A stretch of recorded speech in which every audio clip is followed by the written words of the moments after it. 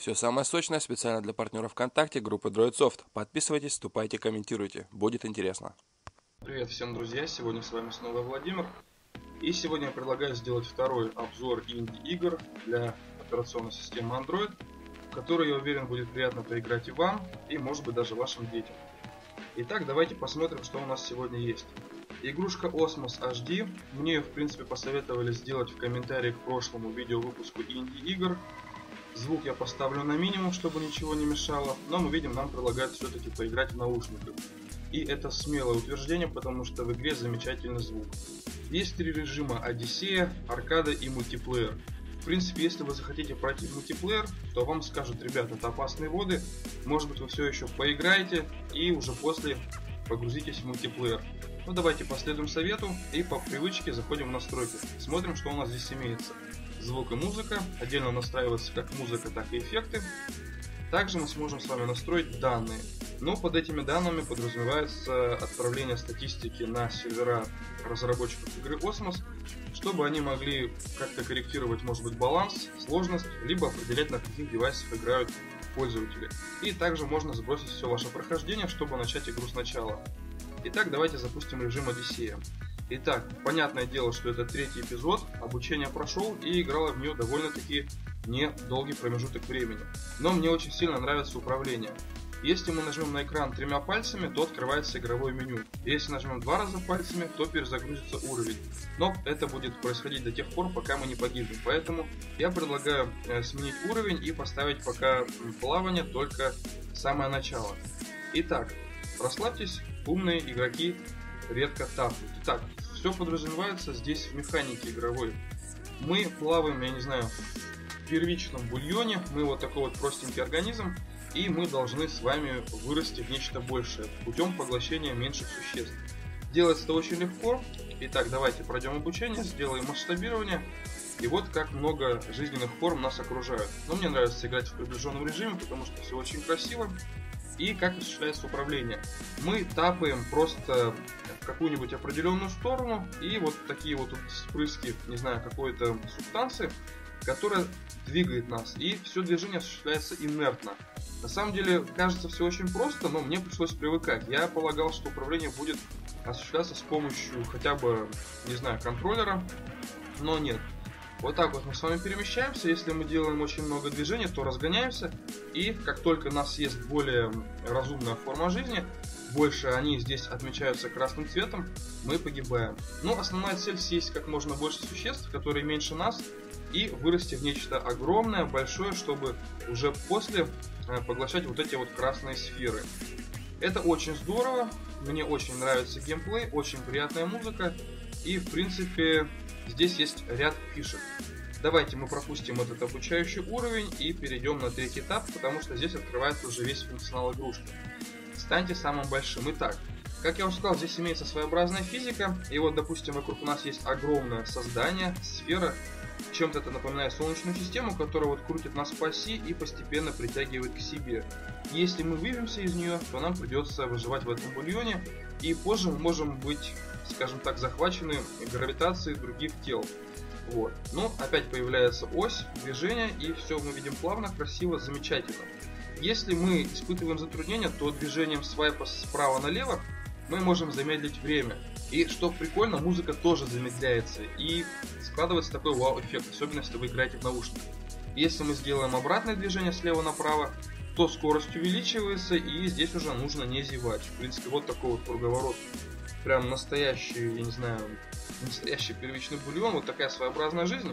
Игрушка очень классная, единственное, что детям будет играть в нее сложно, но думаю, вам в большинстве своем очень понравится. Ну, режим аркада, чтобы получить к нему доступ, нужно пройти Одиссею. Как уже понятно, да, Одиссею я еще не скоро смогу пройти. Давайте посмотрим, сколько мне предстоит уровней, преследование, точность. В общем и целом, игрушка развивает э, ваши игровые качества постепенно. Следующая игрушка, которую хочу вам показать, называется Tree Maker. Классная игрушка. Здесь тоже замечательный звук, но, понятное дело, я его специально отключаю, чтобы не отвлекаться на происходящее. Игрушка скажем так, требовательная. Мне не ясно почему, но, слава богу, на двухъядерном процессоре она работает без каких-либо проблем. Здесь суть сводится к следующему. Мы маленькое такое создание, которое может перемещаться по игровой локации только с помощью лиан. Что это из себя представляет, сейчас вы убедитесь, э, насколько это необычно. Но игрушка сложная. Э, допустим, мы хотим попасть на противоположный уголок карты, вот нам машет это создание, чтобы подобрать эту желтую сферу и чтобы там впоследствии выросло деревце. Нам нужно тапнуть на, верхнюю, на верхнюю арку. И вот давайте посмотрим. Имеется такая физика.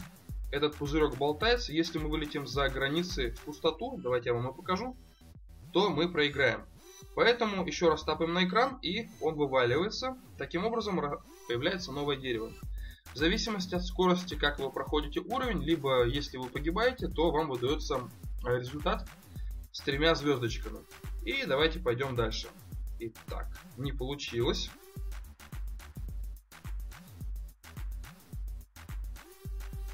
Так, и еще одно деревце.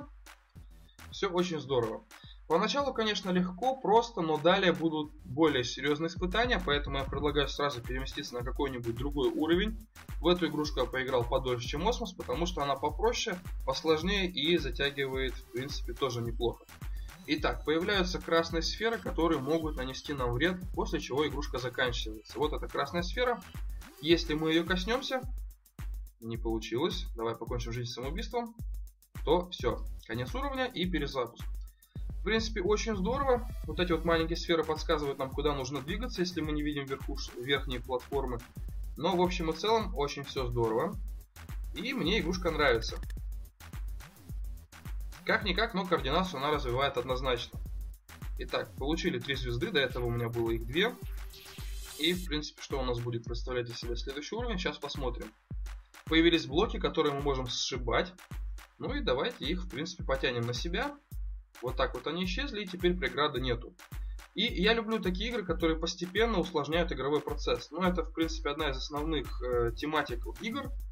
То есть цель дать вам возможности и постепенно ставить вас в различные игровые ситуации, чтобы вы умело перемещались между ними и использовали все свои навыки. И последняя игрушка чем-то похожа на Тримейкер, называется на Тупсу. Чем-то она мне напомнила игрушку, которую я показывал в прошлый раз, где главным героем была Джелька. Итак, давайте пройдем в первый уровень и что из себя представляет геймплей. Вы играете маленьким мохнатым пушистым созданием, которое вот так вот перемещается по таким вот красивым уровням, и наша цель собирать звездочки. Давайте переместимся под звезды на том уровне, где я остановился, потому что здесь уже больше игровых ситуаций.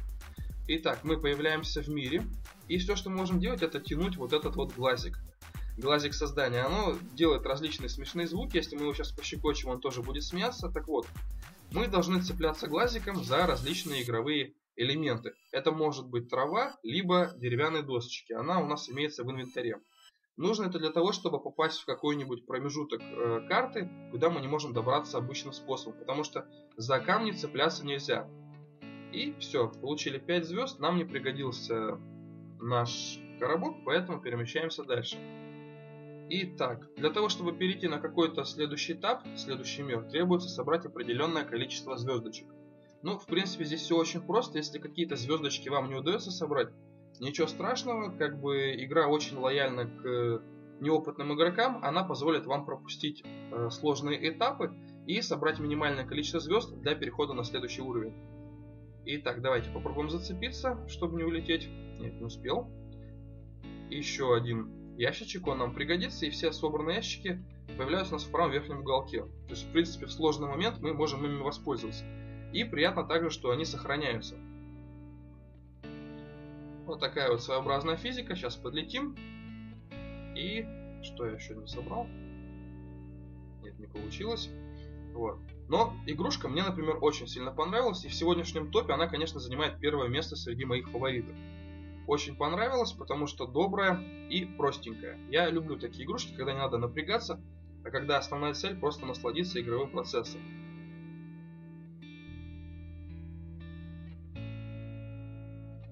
Так, все не получается у меня.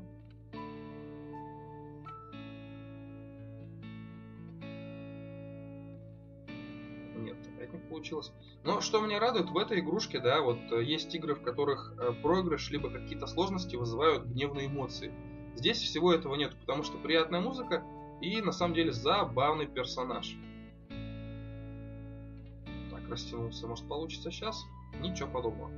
Так, возможно, тот самый случай, когда придется использовать ящик. И я вам покажу, как это делается.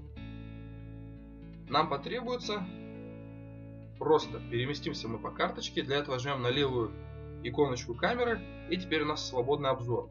Вот. Я хочу что сделать? Я хочу сделать следующее. Поставить сюда ящик. Все-таки мне своими силами не удается туда забраться.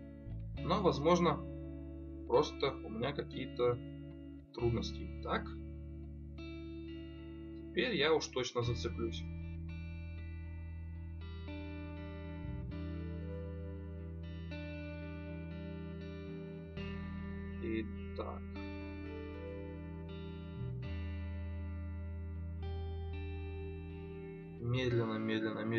Двигаем ящик. Все-таки физика присутствует. И сейчас подлетим вверх.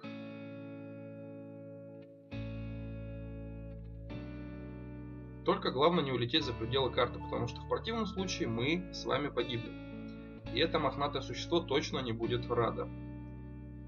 Так, пропустил я звездочку, поэтому этот уровень обязательно перепройду. Уровней очень много, в игре, по-моему, если не ошибаюсь, 4 мира. Давайте посмотрим. Да, в игре 3 мира и бонусные. Там наверняка очень сложное здание.